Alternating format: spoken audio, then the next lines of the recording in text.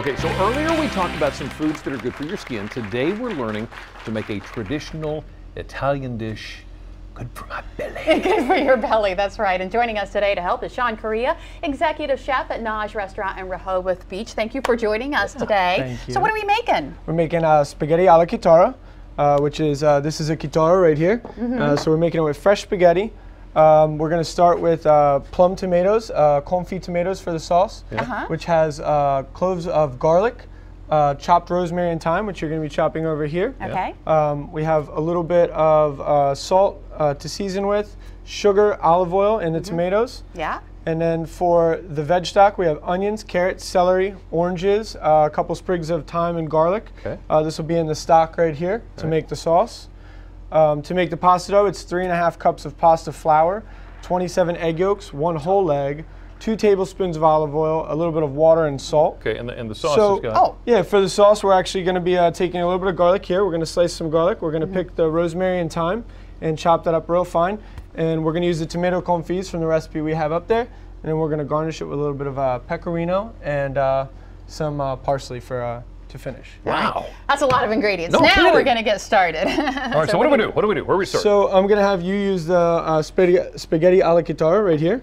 Now, this Um, is kind of hard to see on camera, so explain to me what this is. This is basically a pine box that is wrapped in uh, guitar strings. Right. And this uh, cuts pasta, and you uh, you can cut it one sheet at a time. This this side is spaghetti, and if you flip it over, it's actually linguine on the other side. Oh, okay. So we're just gonna flour the pasta up a little bit, Can you tell he gave me a chance to practice this earlier? we'll see whether or not I can do it. and I'm gonna have you uh, pick the rosemary and thyme over Okay. here, and we're gonna chop it up really fine, uh, along with uh, slicing a little bit of the garlic. okay, so I just chop it up, stem and all? Yeah, you don't Okay. need the whole thing because we're only making one little order here. Oh, okay.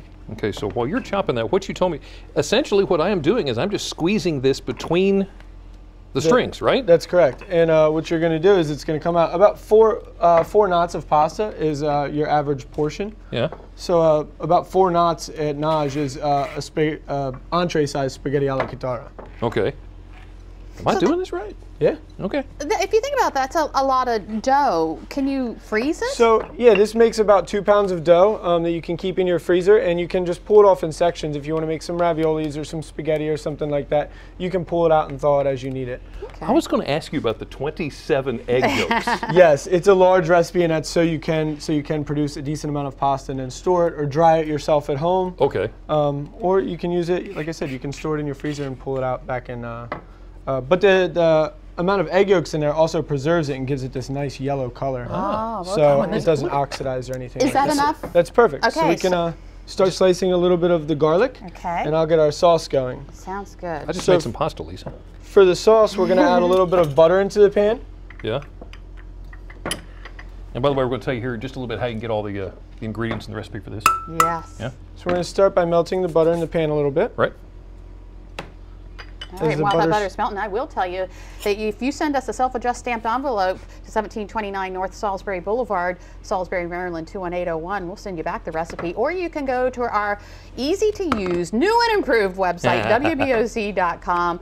You can give us a call as well, 443-880-9116. Also, if you want to cook right along with us, we post your shopping list so on cool. in the morning on our website, wboc.com, so you can get out there and get all those ingredients Yeah, you do that with us. That's fun. How's that, how's that going over there, Jimmy? Uh, oh, I'm loving this. He's probably got enough, but I'm going to keep doing it because I know how now. Okay. So now that we have the garlic chopped up, we're going to add the garlic into the pan. Okay. So I'm going to Some steal big, big chunks there, but oh well.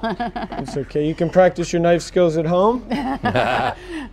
so we're just going to toast this garlic. Uh, that's one of the important parts. We were talking about smells earlier. Uh, this is one of the most important parts of the dish is to toast the garlic. You don't want to burn the garlic, Uh-huh. but you do want to toast it a little bit. It, it lets out some of the essential oils and just gives a really nice aroma. And uh, when eating, you eat with your eyes first, your nose second, and your mouth third. Okay. So, uh, so this is a, a very important process, and we're going to toast this. oh, okay. Might- And as soon as it's toasting, we're going to finish by adding our tomato confit, a little bit of crushed red pepper for spice, and uh, we're almost there. We're almost there. Alrighty. Okay. I'm going to do a little bit more here just to make sure that we've got enough. We're going to go to a break real quick. We're going to finish up what we're doing Yep. here, and we're going to come back and check it out and see how well we've done. Don't go anywhere. Delmarva Life's going to be right back just after this. Eat us. All right. Smells good.